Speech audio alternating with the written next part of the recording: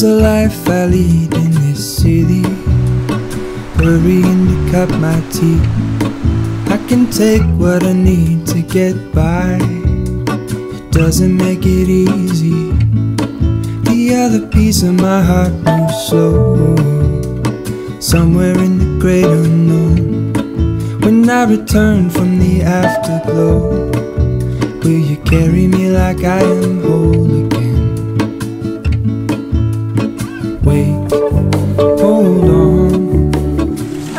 Wunderschönen guten Tag und herzlich willkommen zu diesem neuen Vanlife-Vlog. Wir starten direkt bei den Stones of Symphony. Das ist mega krass. Hier gibt es teilweise ähm, ja, so Gesteinsschichten bis zu 100 Meter hoch. Und die sind entstanden durch damaligen Vulkangestein. Das heißt, es ist Vulkangestein, der einfach damals runtergelaufen ist. Das sieht total verrückt aus. Ist aber auch nicht wirklich groß. Wir haben jetzt 300 Gramm bezahlt. Das ist unter einen Euro. Von daher ist es auch vollkommen gerechtfertigt und vollkommen okay. Linus haben wir im Auto gelassen. Es ist zwar ziemlich heiß, aber der Asphalt hier war für ihn einfach zu warm. Deswegen haben wir ihn oben gelassen. Ja. Und jetzt erfrischen wir uns hier gerade an einem kleinen Mini-Teig. So kalt. Man Es- kann seine Hand da kaum drunter halten. Ist schon echt krass kalt.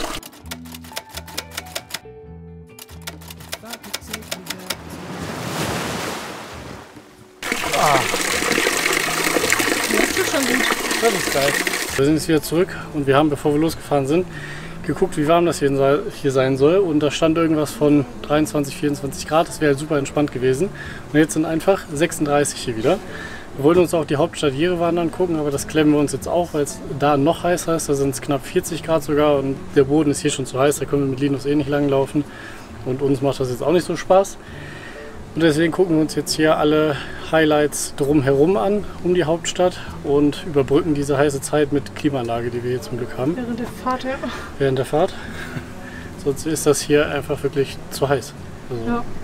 Und dem hier ist uns auch zu warm. Hier, hier im Auto ist es, glaube ich, kühler als draußen, aber das ist so. da haben wir den, das Glück mit dem Max-Fan. Ihr fragt immer, wie wir das machen. Max-Fan an, meistens die Dachluke auf und hier das ein bisschen auf, auf Sperre. Und dann kommt hier Frischluft rein und dann ist da dem auch nicht so warm. Echt kühl. Jo.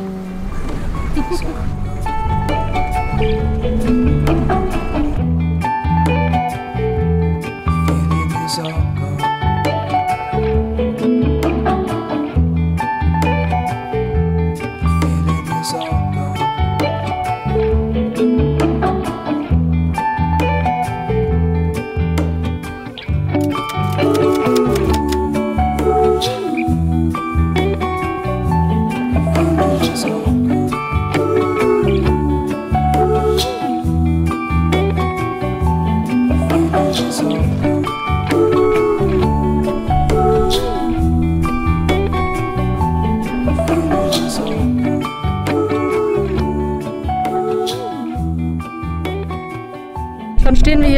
einer krass schwarzen Wand und die ist super hoch. okay, das ist so crazy. Das ist alles Aschewoll, also alles Vulkangestein. Das ist echt krass und es sieht so verrückt aus, gerade jetzt hier so mit so einem hellen Shirt, wie man dann davor steht. Crazy.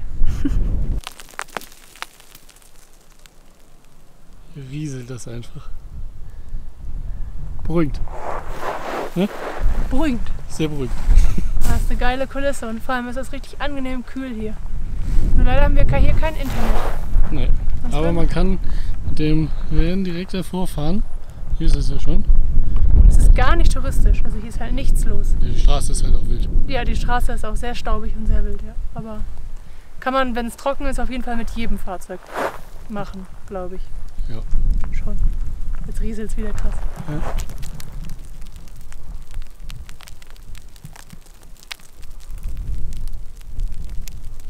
Richtig angenehm. Von die Steine sind wie Sand. Als würde man am Meer liegen. Hm. Richtig schön.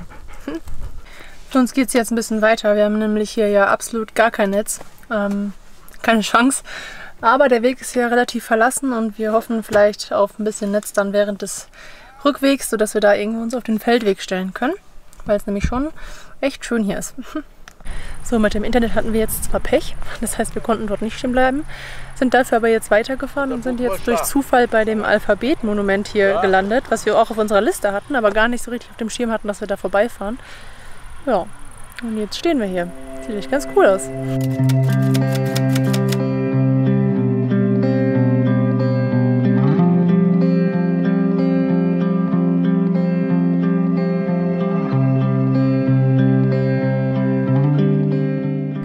Übrigens zu Ehren der armenischen Sprache, die vor 1600 Jahren gegründet wurde. Und der ja, Begründer der Sprache, der ist irgendwo da vorne, dann glaube ich, begraben. Und deswegen haben die das hier errichtet, um die Sprache zu ehren.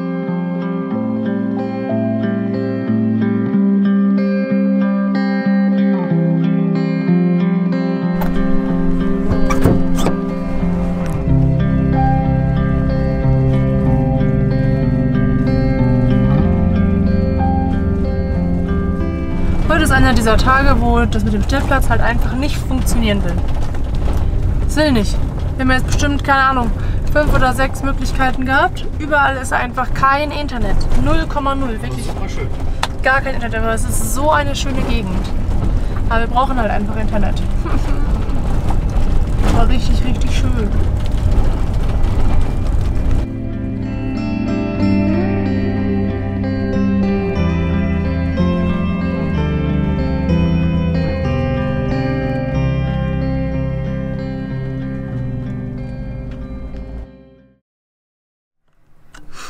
Guten Morgen. Wir hatten gestern einfach echt keinen Bock mehr, irgendwas zu filmen. Ja, das war echt eine, eine blöde Sache mit diesem Stellplatz. Wir haben jetzt an sich einen Stellplatz hier direkt an der Straße, aber halt so ein bisschen abschüssig. Ähm, ja, war jetzt nicht Bombe, wenigstens hatten wir ein bisschen Internet. Ähm, ja, aber wir haben auf jeden Fall keinen Bock mehr gehabt und haben dann halt einfach hier gepennt. Für uns geht es jetzt direkt weiter. Ähm, wir fahren jetzt zu diesem Observatorium und schauen uns das an. Soll auf jeden Fall ganz cool aussehen.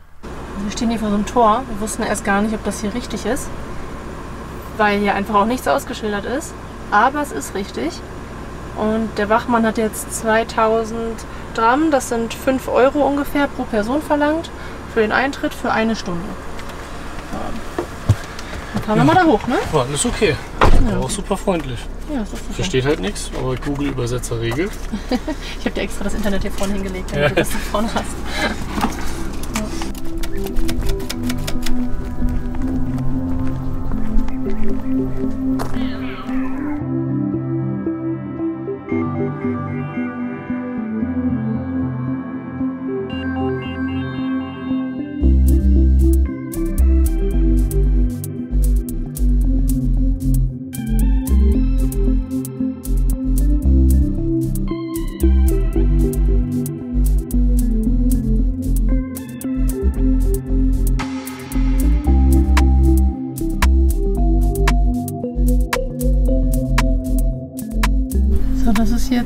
Erster Spot. Wir sind zuerst nach ganz oben gefahren.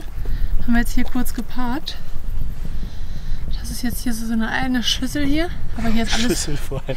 Ja, so ein, was weiß ich, wie nennt man das? Was ein besseres Wort? Radioteleskop. Ja, okay, gut. Hier ist aber halt alles mega verwuchert, also kommen wir nicht so, so schnell hin. Und da unten ist dann so das Hauptobservatorium. Da ist auch noch so ein Teleskop. Ich höre auch Stimmen, also ganz alleine sind wir nicht. Ich glaube, da unten sind auch schon welche.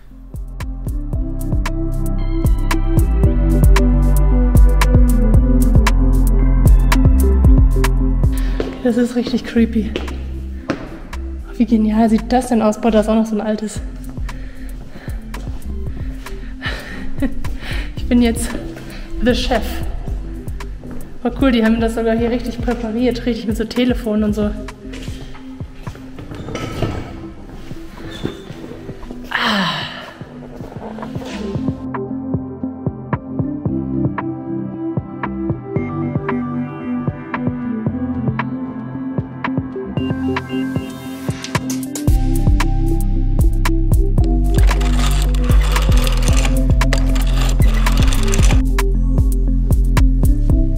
Halt, wir haben halt wirklich nur eine Stunde. Das ist gar nicht so viel. Vor allem, weil man vom Wachturm unten hier hoch erstmal 10 Minuten fährt.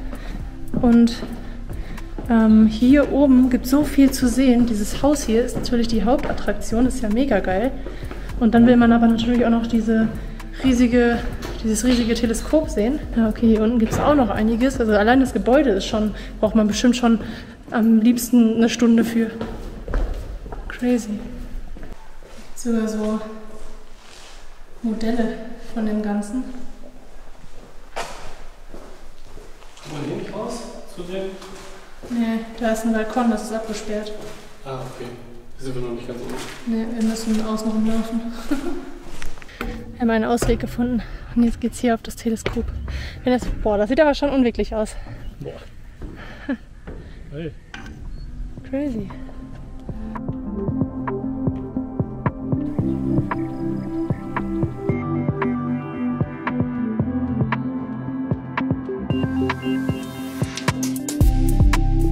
Wir dürfen hier nur eine Stunde bleiben. Wir sind also jetzt ready. Wir haben alles Mögliche aufgenommen, sind auch jetzt klitschnass geschwitzt. Aber wir haben auch schon überlegt, es ist an sich ja voll geil, dass es so eine Regelung gibt. Weil dieser Ort hier halt echt umso geiler ist, wenn man einfach ja, das Ganze für sich alleine hat oder zumindest mit wenigen Leuten. Wenn hier jetzt einfach jeder so lange bleiben könnte, wie er will, kann er, können die hier Pause machen, gehen nochmal rein und dann ist es halt einfach irgendwann viel zu voll. Von daher eigentlich eine richtig coole Regelung, auch wenn es ein bisschen stressig ist. Von mir aus könnte das auch anderthalb Stunden heißen. Aber eine Stunde ist wahrscheinlich einfach leichter. Wir sind hier gerade an einem Schrottplatz gelandet und Finn versucht hier jetzt hier schon seitdem wir im Kaukasus ein altes Kennzeichen zu kriegen. Und dieses Auto hier zum Beispiel hat hier noch eins. Und deswegen erhofft er sich hier gerade nach, ja, nach irgendwas. Ich hatte nämlich schon die Vermutung, dass das mit den Kennzeichen hier was mit der Versicherung zu tun hat. Dass du halt nur ein Kennzeichen hast, wenn du halt auch eine Versicherung hast. Und dieses, ähm, oder die Kennzeichen gehören halt wirklich fest zu den Autos. Ich glaube, das ist auf jeden Fall so, weil die Leute, die auch mit Kennzeichen verkaufen, ja, tut mir irgendwie voll leid, weil an sich wäre das halt voll cool. Wir wollen nämlich später, wenn wir mal irgendwann eine Wohnung haben, dann wollen wir mal ähm, so eine Wand haben mit ganz vielen Sachen, die wir hier schon gekauft haben. Wir haben zum Beispiel eine alte Zeitung gekauft, dann noch verschiedene Sachen und Souvenirs aus den äh, Ländern, die halt auch einfach an der Wand können. Zum Beispiel so ganz alte Aluminiumschilder und sowas. Ja, aber ich vermute, Finn hat kein Glück. oh, er ist traurig. Wir sind jetzt endlich an unserem neuen Stellplatz angekommen. Also es war ja gestern schon voll der Krampf, überhaupt einen Stellplatz zu finden. Und wir haben morgen einen Call, deswegen wollten wir einen Stellplatz haben, wo wir Internet haben, was noch okay ist. Also wir haben jetzt keine großen äh, Erwartungen da gehabt, aber es war echt wieder richtig schlimm. Wir sind wieder tausende Stellplätze angefahren und wir waren so gelangweilt jetzt davon, dass wir das auch einfach gar nicht mehr in den Vlog mitgenommen haben, weil es einfach schon wieder super beschissen war, wir schlechte Laune hatten, wir haben auch schon wieder Hunger. Das ist immer am schrecklichsten, wenn man keinen Stellplatz findet und gleichzeitig noch Hunger hat. Ja, jetzt stehen wir hier neben so einer wenig befahrenen Straße, haben wir aber immerhin ganz gutes Internet. Und es ist relativ ruhig und wir sind in den Bergen, also temperaturmäßig auch voll in Ordnung. Also jetzt gerade tatsächlich eine 10 von 10. Wir sind super zufrieden, können uns jetzt hier was zu essen machen und dann in Ruhe ein bisschen was arbeiten.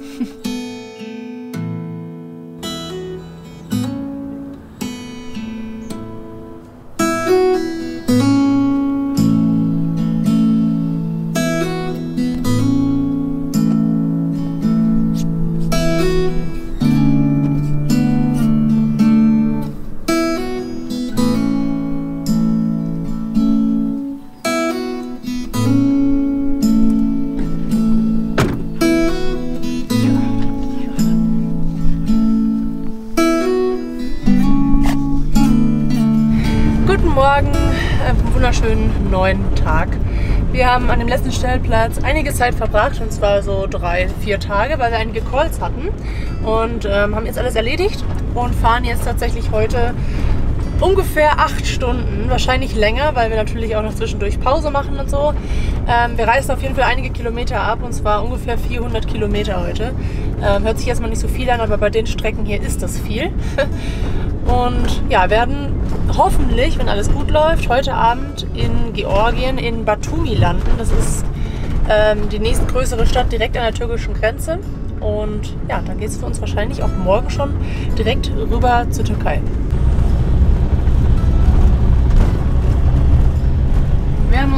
gewundert, warum wir so lange brauchen. Die Kilometer. Jetzt wissen wir es. Ja, weil die offiziellen Straßen einfach dauerhaft so aussehen. Guten Tag. Guten Tag.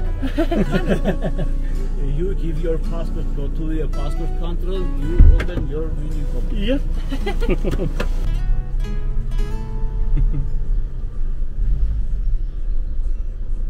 So, wir machen jetzt nach vier Stunden mal eine Pause. Sind hier am Grünen See angekommen. Den wollten wir uns so oder so angucken. Der lag auf dem Weg. Ja, hier oben sind es ganz entspannte 20 Grad. Richtig angenehm mit der Sonne. Von daher freut sich der Kleine auch, mal hier eine kleine Runde zum See zu drehen. Ja, ich wundere, wo das herkommt. Dieses Boot da. Ist das einfach. Wir haben auf jeden Fall das georgische Freibad gefunden. Auf jeden Fall sind hier richtig viele Menschen. Hier ist Mucke im Hintergrund, das hört man, denke ich, ganz gut. Hier machen die Leute Feuer, hier wird Popcorn verkauft. Das ist gefühlt hier wie so ein, wie so ein Freibad, nur dass es hier halt keine Pommes und Currywurst wie bei uns gibt, sondern Popcorn und Blumen, die man hier kaufen kann. Ja, crazy. Naja, immerhin konnten wir ein bisschen laufen. Linus war einmal kurz schwimmen und ja. Das war's dann auch schon wieder. Na dann geh. So, weiter geht der Spaß. Die Hauptstraße hier ist auf jeden Fall sehr abenteuerlich.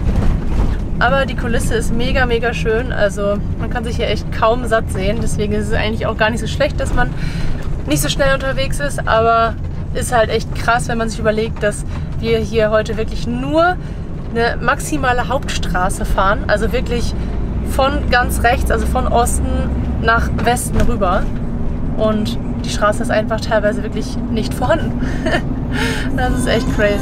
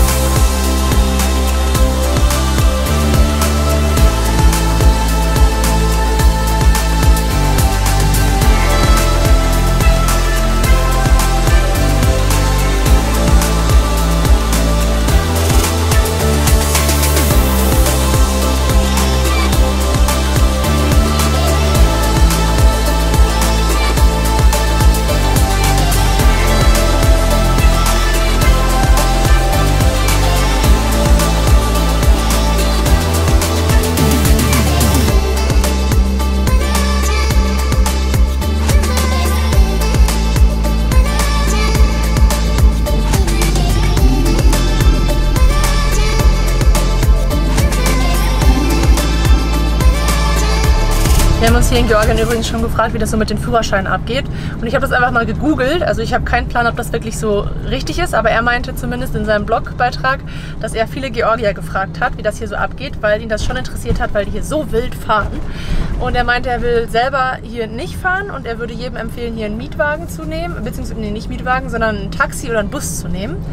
Ähm, ja, auf jeden Fall hat er geschrieben, dass es hier keine Fahrprüfungen oder Fahrstunden im Verkehr gibt, sondern nur auf einem großen Platz. Es gibt also eine Theorieprüfung, wo dann die ganzen Schilder und alles abgefragt werden und die Regeln und eine ähm, praktische Prüfung auf einem ganz großen Platz, wo wir in Deutschland quasi so Parken üben, wo dann zum Beispiel Pylonen aufgestellt werden oder weiß ich nicht, halt irgendwas in der Art. Und das ist bei denen halt hier die Prüfung. Das heißt, die stellen dann da halt so ähm, Pylonen auf, dass man so eine Acht fährt zum Beispiel oder halt rückwärts einparkt. Aber es wird bei denen angeblich wohl nicht im Verkehr geübt und ich glaube, das ist das äh, größte Problem, warum das Ganze hier ein Riesendurcheinander ist.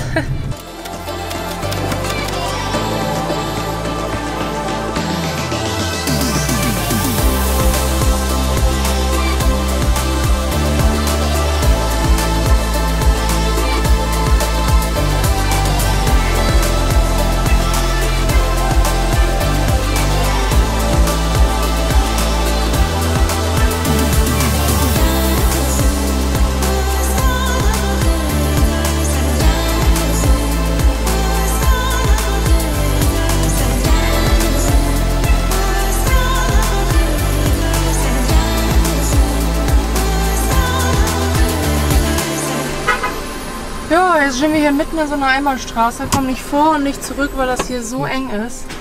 Startstopp hier. Und da vorne kann man nicht weiter, obwohl Google das gesagt hat. man kennt's. Immerhin eine schöne Aussicht. Wir haben jetzt übrigens für sage und schreibe 380 Kilometer 9 Stunden 38 Minuten Fahrzeit. Ja, Weil wegen die der Straßen so Was ist das hier für eine, für eine Einfahrt? Da kann man nicht reinfahren, ne? Ja, da ist es eine so, Mikroeinfahrt. Oh Mann, ey. Hier, wieder typisch. Jeder fährt in irgendeine Richtung, jeder fährt halt einfach irgendwo hin. Es ist so crazy, Auto Ja, zu sogar, fahren. sogar der will ja noch irgendwo. Der, der will auch noch links irgendwie. Ja, mach irgendwas, was du machen willst. Ja, dann fahr. Ja, okay, dann sollen wir fahren. Okay. Dann Pech. Ah, jetzt bin ich aber ganz schön durch hier, ey. Leute, ich sag's euch. Ah, Das war wild. Das war echt wild. Die Leute hier sind halt einfach auch immer viel abends unterwegs und ja. Gut. Jetzt sind wir auf jeden Fall da. Das ist jetzt hier so ein bewachter Wohnmobilstellplatz für ungefähr 10 Euro die Nacht. Hier bleiben wir jetzt die Nacht.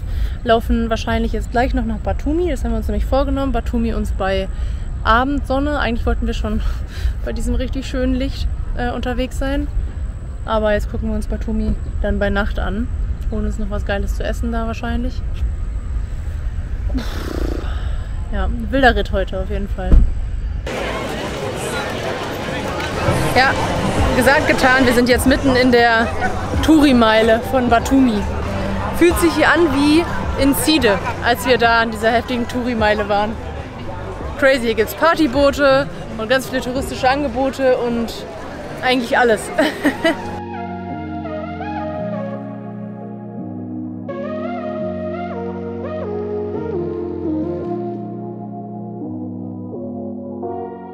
묻어져가는 우리 사이 왜 눈치 못했을까 내 시선은 너 하나뿐이었지 단 한 번도 I never thought you wanna leave me for another Thought it was all make-believe 아직 몰랐던 아픔들이 곧 따라오네 맹목적으로 너를 믿은 나 결국 다 어리석은 생각 Now I know what it means to be foolish 나의 예상 못했지 clueless 한쪽에 눈물 흘러 행복해보고 싶었어 Guten Morgen. Wir sind jetzt hier schon wieder an der Promenade unterwegs und der Unterschied ist wirklich so krass. Gestern war das ja brutal voll hier. Jetzt ist einfach nichts hier. Wir sind aber schon, Nix, also es sind schon einige Leute im Wasser und ja. schwimmen. aber sonst hier ist halt ein Riesenunterschied. Aber es sieht trotzdem irgendwie so ein bisschen, so weiß ich auch nicht. California war jetzt. waren wir zwar noch nie, aber sieht irgendwie so aus.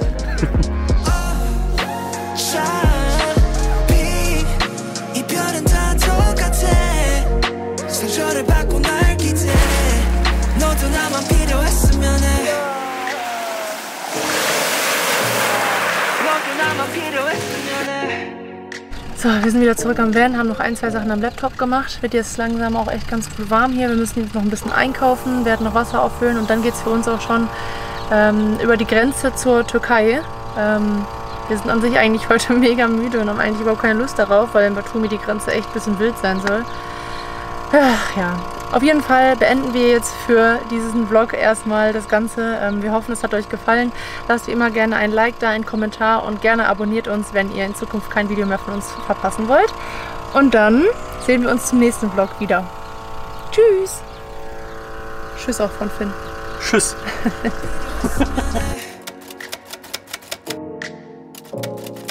너도 나만 필요했으면 해